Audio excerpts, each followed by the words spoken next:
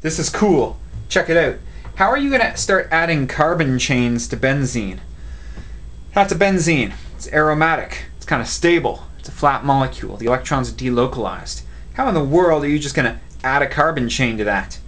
Well, the answer is Friedel-Crafts alkylation, where you have an alkyl halide, see, alkane, with a halogen attached to it, and you're going to use aluminum chloride as a catalyst. Here's what happens. The aluminum chloride combined with this molecule here, the aluminum chloride steals the chlorine away, it actually ends up making AlCl4 minus. But notice this chlorine's no longer there. You end up with CH. You got your CH3 on this side. You got your CH3 on this side. And you're left with a positive charge there. You stole away the negative chlorine. You're left with a positive charge. Because the carbon now has a positive charge, you can do an electrophilic substitution. Here's what I mean.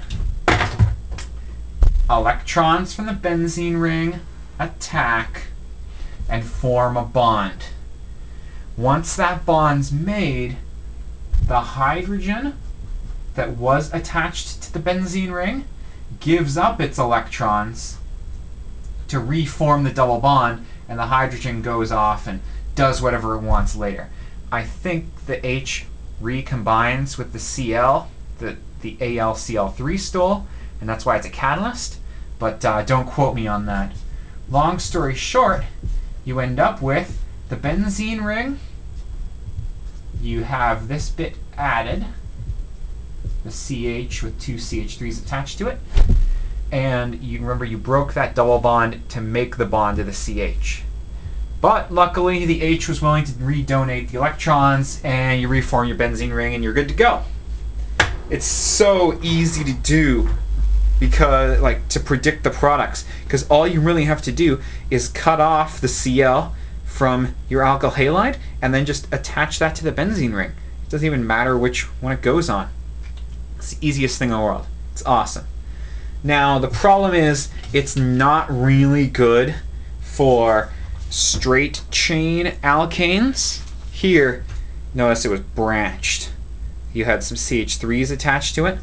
It's really, really just doesn't work for straight chains.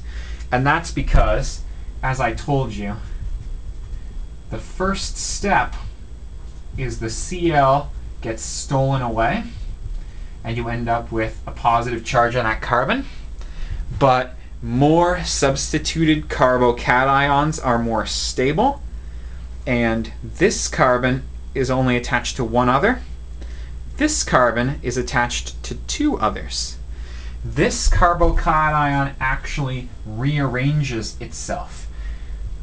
Let me be specific here. This is a primary carbocation because the carbon that is the cation has the positive charge is only attached to one other carbon. That's what makes it primary. Sometimes we call that first degree. A more stable one would be whoop,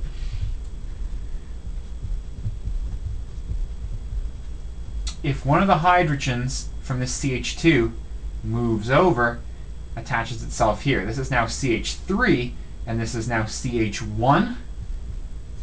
This is a secondary carbocation because the carbon that is a cation has two carbons attached to it. I get that that's weird, but long story short, this is more stable and the carbon hydrogen bonds are kind of mobile. It's called a hydride shift. Just accept it, it happens.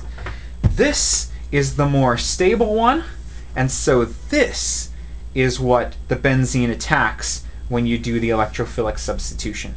So rather than it being like the product being a benzene ring with uh, CH2, CH2, CH2, CH3 attached to it, you end up with the CH, the CH3 and then a CH2, CH3 coming out the other side.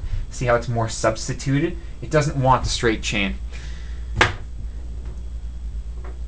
Yeah, you're just gonna have to deal with the fact that that's the way it is, and you can't use Friedel-Crafts uh, alkylation when you want a, a, long straight chain attached to the benzene. You're gonna have to use something called Friedel-Crafts acylation, which I'll do another video about some other day. Good luck.